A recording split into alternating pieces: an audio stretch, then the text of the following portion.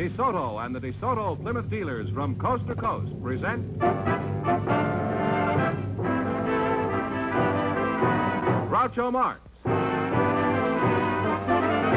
You Bet Your Life. And here he is, the one, the only. What a bounder. Oh, that's me.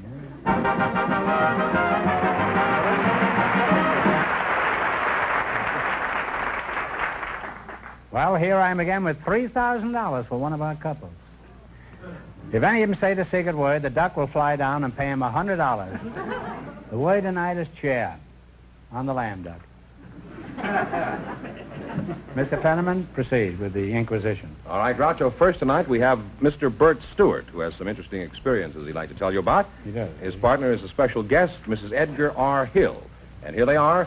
Folks, would you come in, please, and meet Groucho Marx. Welcome, welcome for You Bet Your Life. Say the secret word and uh, for the DeSoto Plymouth dealer. Say the secret word and divide $100. It's a common word, something you find around the house, assuming that you have a house. Mrs. Hill, I'll start with you. Where are you from, Mrs. Hill? I am originally from Chicago. I was born on Wabash Avenue on the south side of Chicago. Oh, on the banks of the Wabash, huh? I used to live in Calumet in uh, 46. Are you familiar with that neighborhood? Yes.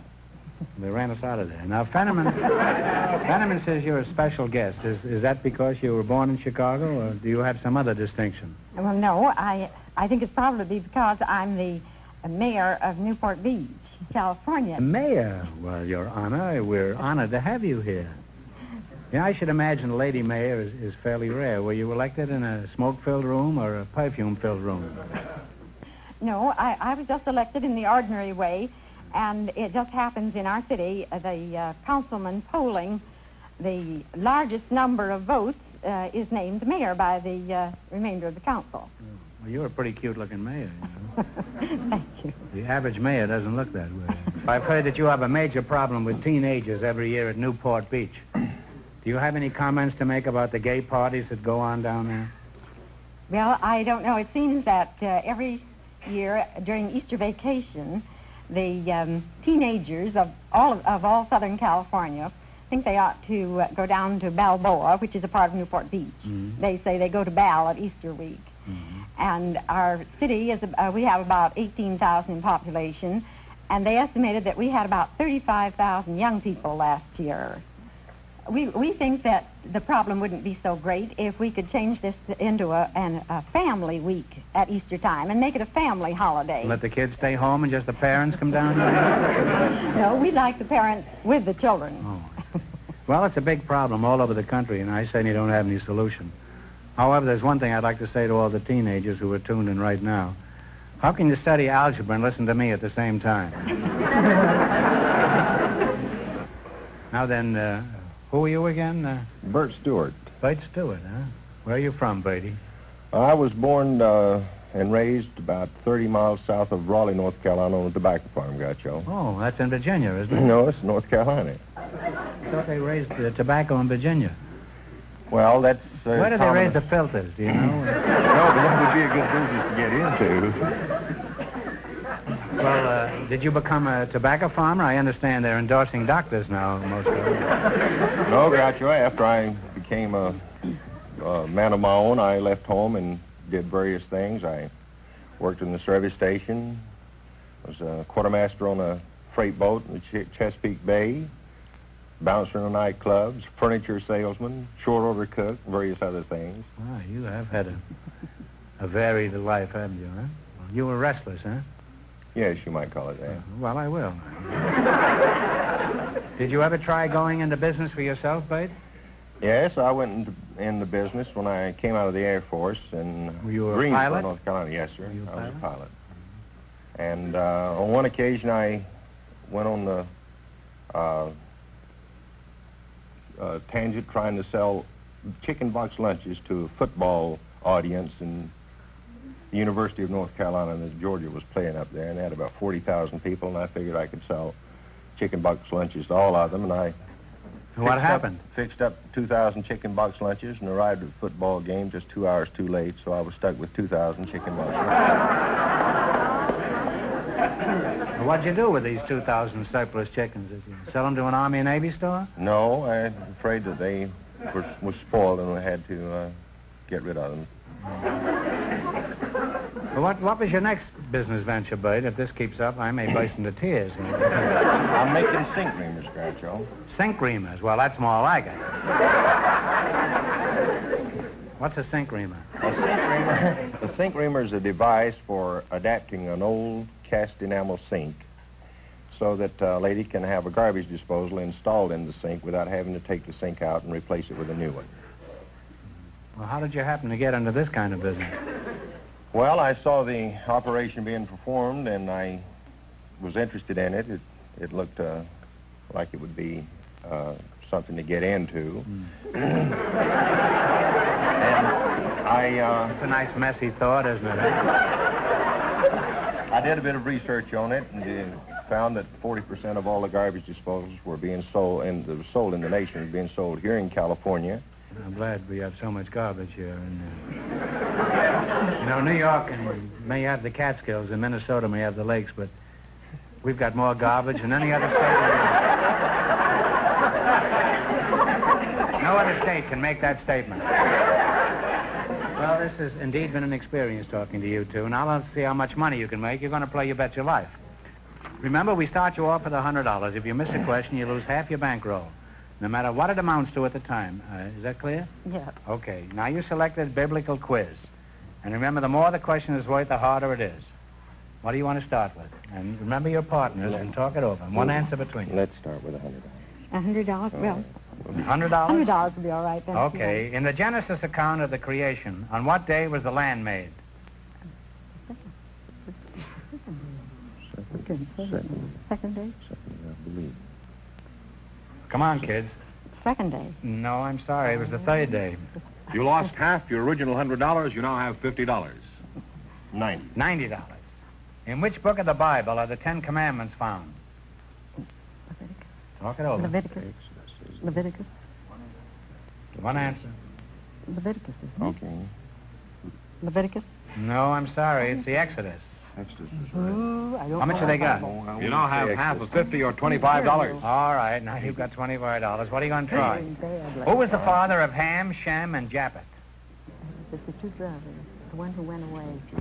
Cain killed Abel. And the, and Abel. Come on, time's up, Move kids. here, Cain, Cain. Abel. Uh, no, Cain was killed. Ca- Abel. Abel. No, it was Noah. All right, you're You stuck lost, with uh, lost half your 25. and I have 1250. Well, they're they're gamesters. You're going to take the seventy? What is referred to as the Decalogue? Talk it over. The Decalogue. Is that the uh, first ten books of the... Uh, no. First ten books. Oh, heaven. You got me MTV. No answer. No comment? Well, it's the Ten Commandments. You wind up with uh, $6.25. Uh, I'm going to give you one question to get it right, and we bring your winnings up to 25. What time is it when both hands point to 12? 12 o'clock 12 o'clock is right. I'm sorry. Thank you.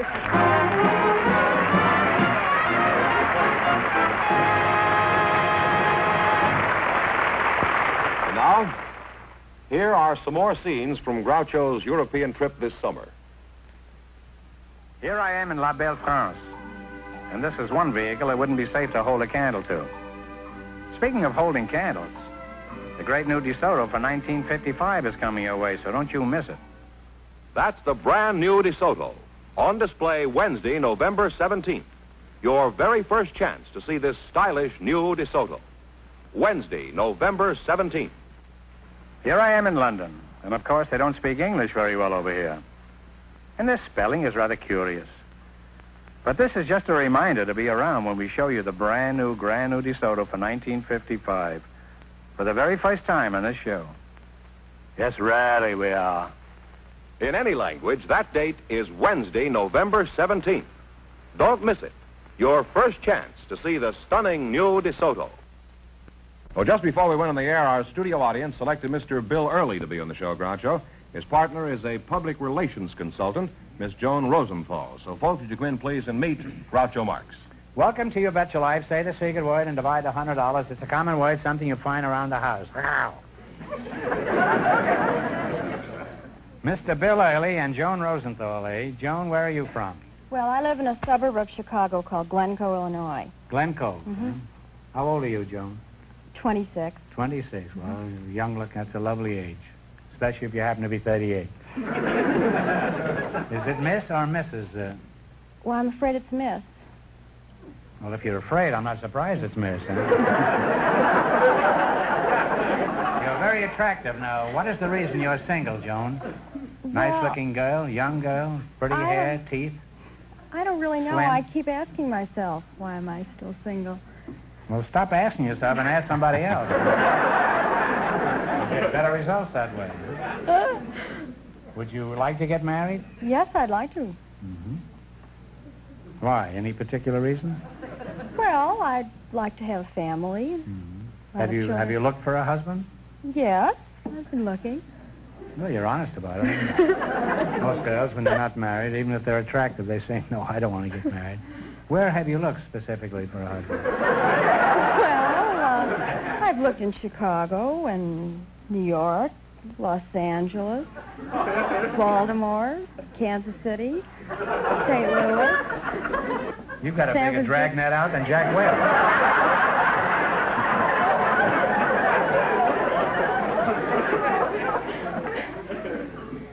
Mr. Early, I bet you've had a lot of proposals, Joan, haven't you? Well, You've had a number of them, haven't you? You just haven't found anybody that you like yet. And I admire you for that. Because most girls at 26 are so panicky. They're afraid they're not going to get a fellow, that they grab the first yokel that comes along. eh? And I, I admire you for having high standards. well, thank you. And you've, uh, I bet you you'll wind up with just the boy you want. Well, thank you very much. Uh, Mr. Early, you look like a fellow gets around. I don't know what you get around, but you look like a, you look like a fellow gets around. Maybe you could help Joanne find a, a- a spouse. What sort of work do you do? Well, I buy cattle uh, for Armour and Company. Well, I doubt if you can do Joanne any good. Where do you buy your cattle? oh, I buy 'em most anywhere I can find them. We go out looking for them. Our uh, On the highway? oh no, our uh, our main buying office is at the stockyards, Union Stockyards. Uh-huh. What do you do with these cows after you buy them? Well, we Take uh, them home? no, we slaughter them, dress them, and uh, sell them. Hope to get our money back. You've got to uh, to get your money back. You can't miss them too far. The tolerance is supposed to be about one half of one percent. What do you mean by that? Well, uh, if, uh, for instance, uh, the cattle have uh, some water in that you don't detect, they can drink quite a lot of water. Say, watered stock? This? yeah, it'd be watered stock. Say 40 pounds. I had some watered stock in Wall Street once. Is it anything like that? It's about the same in the same category. Well, 40 pounds a- of water that you don't see at 20 cents a pound is uh, eight dollars. That's more than we hope to make when we buy them, you see, and we don't want to make that mistake. Well, how do you know if the if the cow is waterlogged or not? you Well, follow them around uh, all night to see they're not drinking? It'd be all right if you could, but you don't Well, how do always you do know. You Well, they- shake them, see if they make a noise. they can they can conceal it pretty well. How? Uh, they have four stomachs, you know. Well, can't you shake them? No, they they're a little big for that. Let's get back to you, Joan. What sort of work do you do? Well, I travel around and talk to women about their hair and advise them on what kind of permanents to use and how to groom their hair. Mm. Home permanents, huh? Yes. You know how to avoid falling hair, huh? Well, no, not You exactly. step nimbly to one side. That's no water.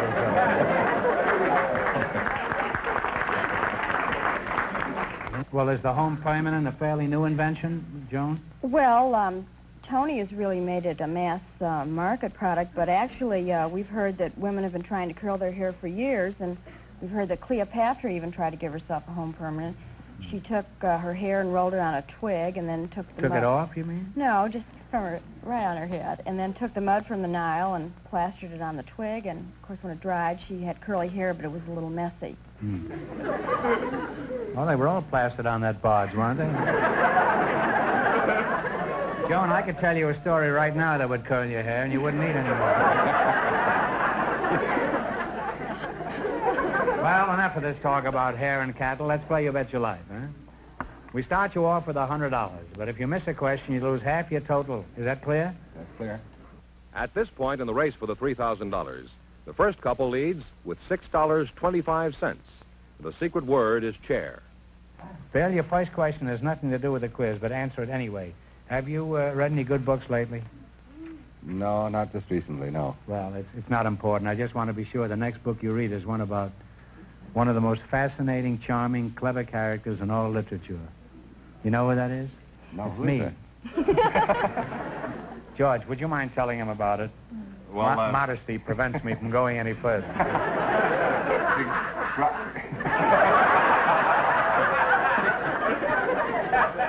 A skeptic over there that's going to get fired.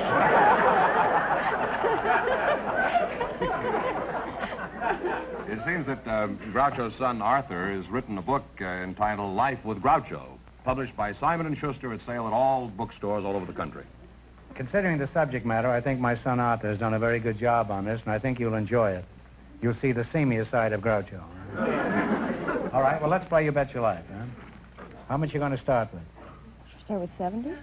70 or 80, whatever you want. 80? All right, $80. What do you call the wife of an Earl? E A R L. Countess.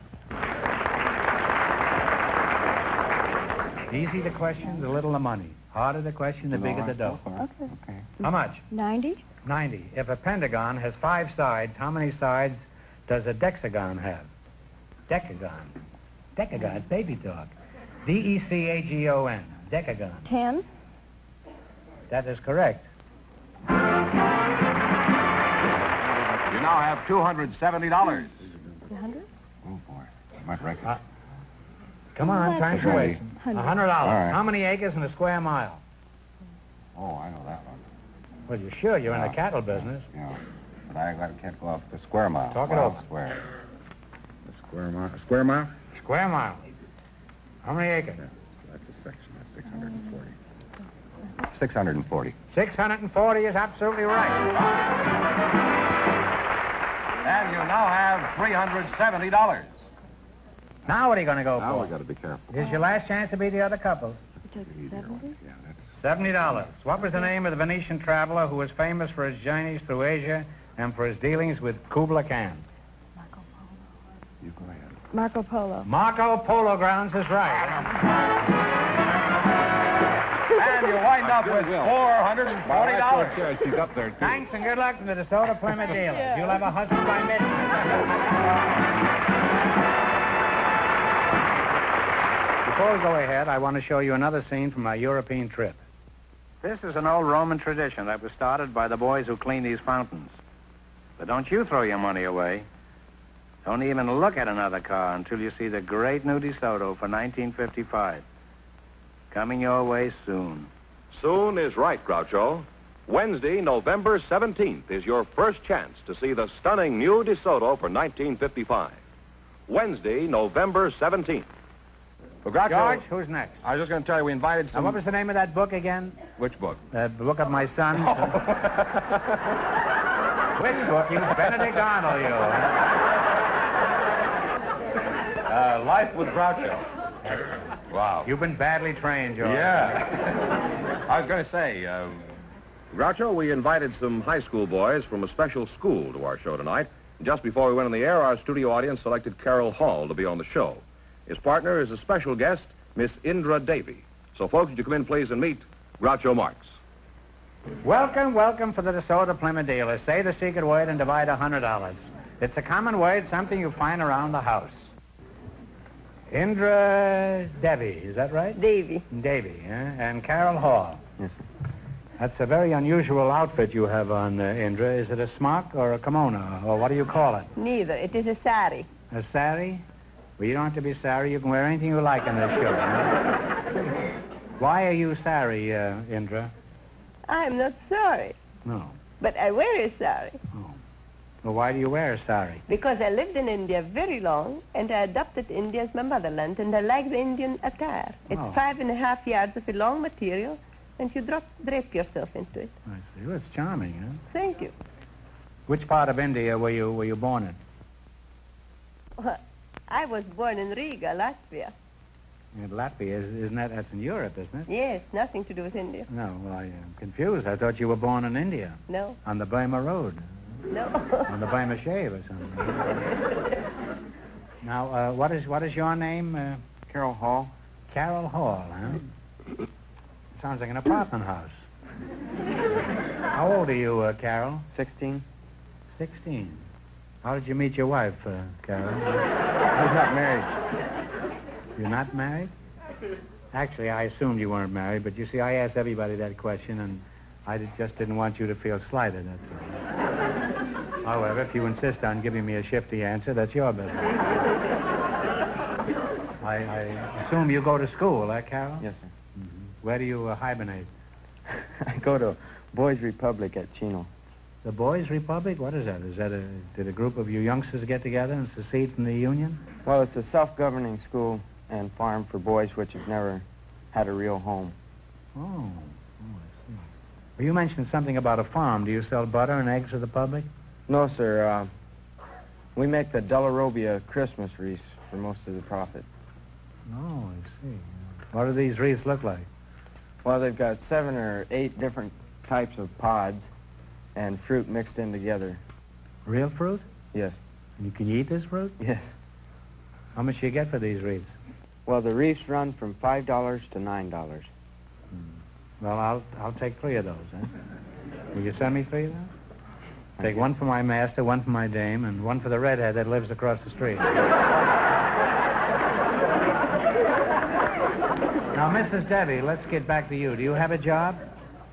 Well, I am teaching yoga in my Yoga. Isn't he a baseball player? He's with that team that used to win the pennant all the time. What were they called? The Yonkers? Uh, Yankees or something like that? No, I'm teaching yoga exercises in my studio on Sunset, and I'm lecturing on yoga.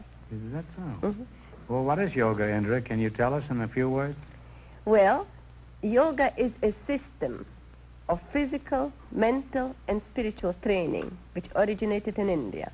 Uh-huh. And the yogis believe that the deep breathing is the basis for their training. And when you breathe in, they believe in breathing in the cosmic energy. Hmm. You breathe deep, in other words. Oh, yes, it is a deep breathing. Well, that might be all right in India, but if you breathe deep here, you're liable to wind up in a cemetery. Huh?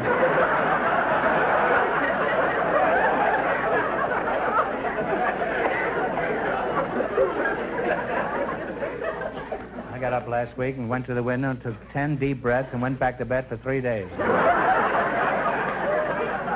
There must be more to yoga than just, just breathing, isn't there? Yes, Could you tell us some more about it? Well, There may be a lot of yogiites out front tonight. if I took up yoga, what would I have to do?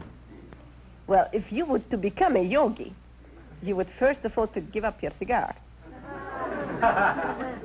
Well, I don't smoke much. I just smoke during the day, that's all. well, I could give up smoking. What else would I have to Well, relinquish? a yogi would not drink. If you take drink, you'll have to give them up too. I don't drink much. Uh, Is that all there is to it? Oh, no, much more. There's more to it, huh? Much more. Let's skip it, huh?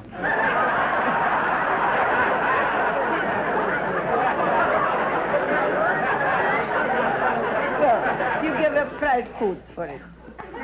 Fried foods or something else again, huh? Now let's play an old-fashioned American game called You Bet Your Life. In the race for the $3,000, the second couple is now leading with $440.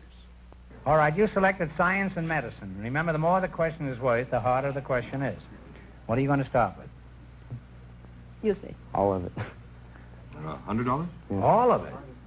All right, Oh, is that's that- the hardest one. The bigger the uh, sum, the harder the question. Oh, we'll take half of it then. All right, half. What do you call the loss of memory? The loss of memory. Memory. If you lose your memory, what is that called? Amnesia. That's right, amnesia. What, uh, what You- question do you want? You have $150 now. $150. You Now, have it.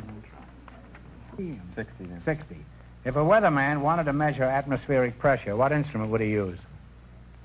Talk it over. Thermometer? No, I'm sorry. It's a barometer. You had 150, you lost half, you now have $75. All right, now don't get discouraged. Now, what are you going to try this time? 30. 30. What do you call the device that is twisted around the arm or leg to stop bleeding? Tourniquet. Tourniquet Tourniquet is right. Now I have $105. Now, what are you going to try? 40, I guess. The green coloring matter in plants is called what? Chlorophyll. Chlorophyll is right.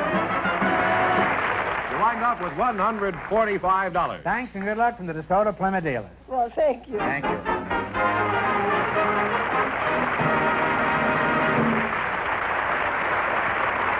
That means that Miss Joan Rosenthal and Mr. Early, with $440 in just one minute, get the chance of the DeSoto Plymouth $3,000 question. Well, let's take a minute to get away from it all and back to Italy. You may think these boys are all statues, but you're wrong. They're just waiting until they can get their first look at the stylish new DeSoto. Why don't you pull up a pedestal and join us? Until you can get your first chance to see the stylish DeSoto for 1955. Tell them when, George. Wednesday, November 17th. That's your very first chance to see the 1955 DeSoto. Don't miss it. Wednesday, November 17th. I just gave that battleship ten minutes to get out of town. Incidentally, this is about the only road you won't be able to travel in the brand new, wonderful DeSoto for 1955. It's coming your way Wednesday, November 17th. The stylish 1955 DeSoto. So watch for it Wednesday, November 17th. Here's our winning couple, Groucho, Miss Rosenthal and Mr. Early, all set for the DeSoto Plymouth $3,000 question. All right, here we go for $3,000. I'll give you 15 seconds to decide on a single answer between you. Think carefully and please no help from the audience. Here it is. One of the most famous buildings in the world was the Temple of Athena, built around 400 years B.C. on the Acropolis of Athens. For $3,000, by what name do we know this famous temple, parts of which still remain? Talk it over. I know. Okay, you tell me. Parthenon. It's a Parthenon. That is absolutely right.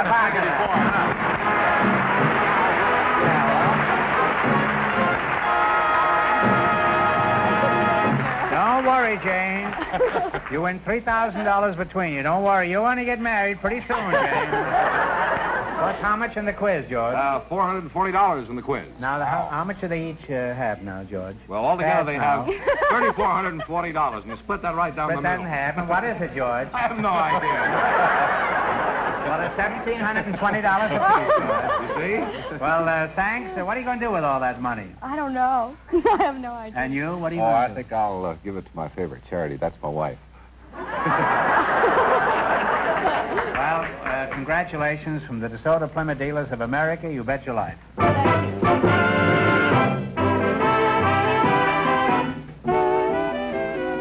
Friends, go in to see your DeSoto Plymouth dealer tomorrow. And when you do, tell them Groucho sent you.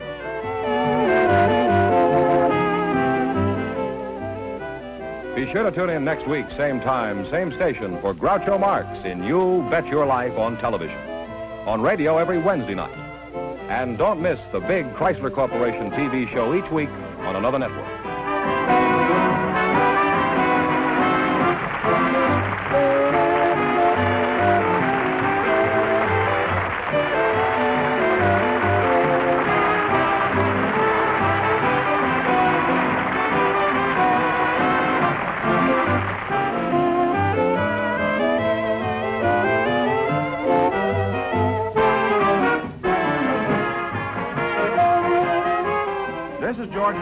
Signing off with a message from the National Safety Council. Don't be a wacky walker. Remember to walk safely. Your life depends on it.